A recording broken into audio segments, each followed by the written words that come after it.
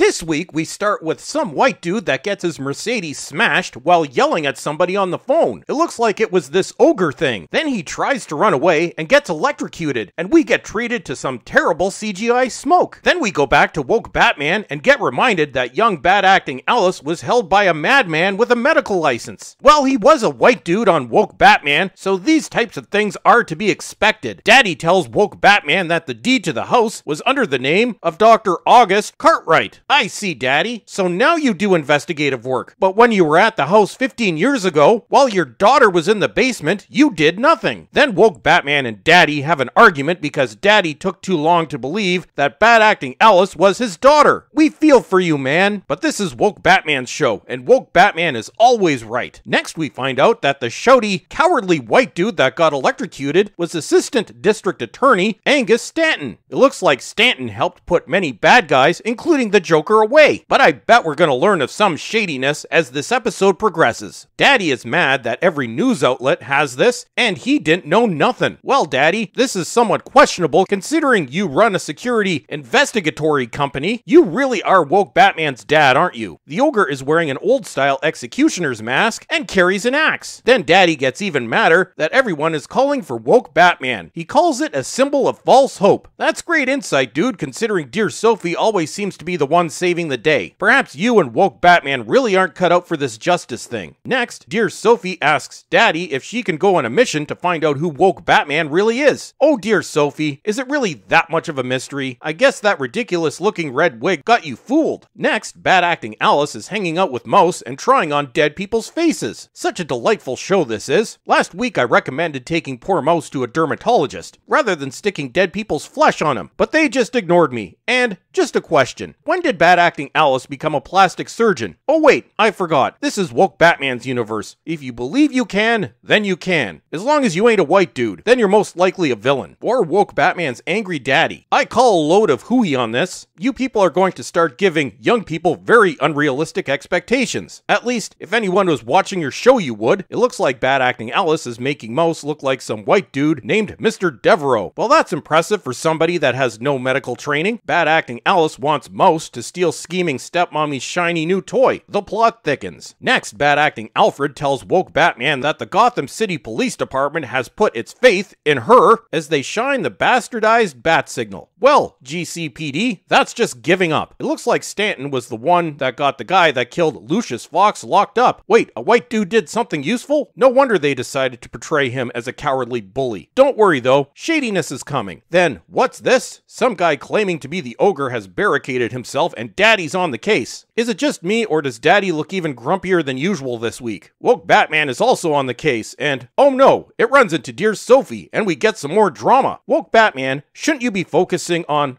Oh, I don't know. The hostages? Then we hear screaming and find out that it's just a recording and nobody is actually there. Well, that's another one on the fail list for Daddy and Woke Batman. Wow, you two really suck at what you do. Then some automatic guns go off and dear Sophie gets shot as Woke Batman looks on. Great work, guys. And let's just ignore the poor white dude that also got shot. Actually, never mind. I have a feeling he's on the shady list too. Next, rather than taking Dear Sophie to an actual hospital, Woke Batman takes her to Diversity Hire Number 5's illegal clinic. Woke Batman says it brought Dear Sophie to the clinic so the crows won't know she's missing. Wow, the choices made in this show just boggle the mind. Even bad acting Alfred tells Woke Batman that this is a stupid plan. Next, we learn that the ogre is using methods of capital punishment to kill his victims, and bad acting Alfred tells us that Gotham City has three methods of capital punishment the electric chair, a firing squad, and the gas chamber. Quick question Isn't capital punishment supposed to be controlled at the state level and not the city level? Next, woke Batman breaks into the warehouse that stores the killing gas, and a security guard makes the mistake of flirting with it. That ain't gonna go down well with woke Batman. That stuff isn't allowed in 2019, dude. Then Daddy captures the guy they think is Ogre. Good lord, woke Batman. Catching just one criminal might be nice, but then we learn that it isn't the Ogre, as woke Batman gets hit by a truck driven by the Ogre, gets knocked out, and the Ogre steals the killing gas. You suck, woke Batman. Luckily, Luckily, part of the truck's license plate is visible on the Batsuit, and bad acting Alfred is able to track it. Well, that was quick. It turns out that the truck belongs to Gotham City's former executioner, because we don't kill people at the state level in the world of woke Batman. God help you if you piss off the mayor. Then dear Sophie wakes up and seems to be in pretty good shape for someone that was just shot. Diversity hire number 5 must be a real miracle worker with her no licensing. Dear Sophie is not very happy that woke Batman chained her to a bed. Then woke Batman breaks into the ogre's house and finds a USB stick, and we learn that the villain is, get ready for it,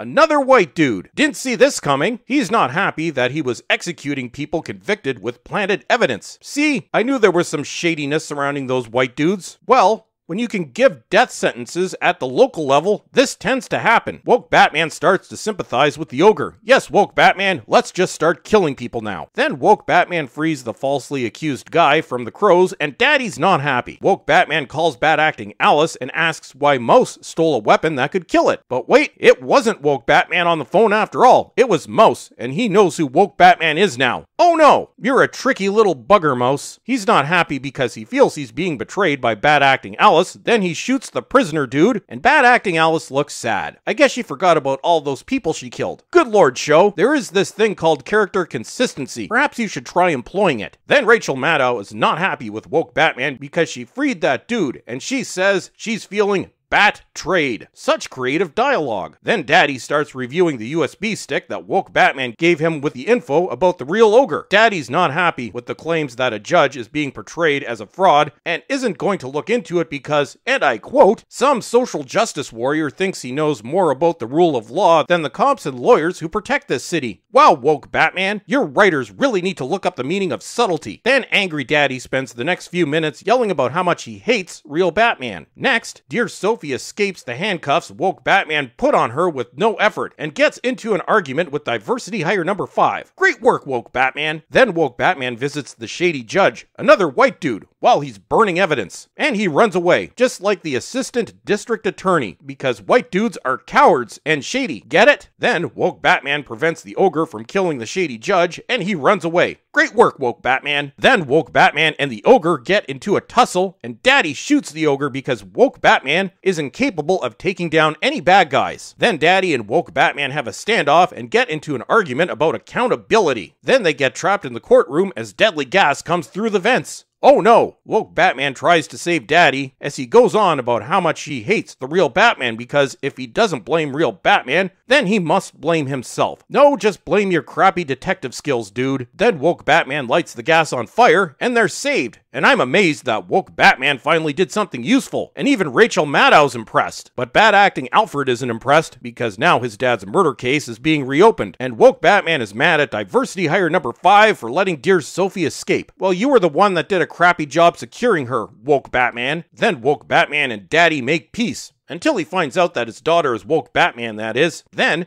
bad acting Alice and Mouse make peace too. How touching. Assuming Woke Batman doesn't get cancelled first, stay tuned to this channel to find out what kind of wacky shenanigans happen next week. And that's it for today. Don't forget to subscribe and check your subscription and notification status because YouTube is being shady on these things lately, and follow me on Twitter. And as always, everyone, thank you for watching and have a great day.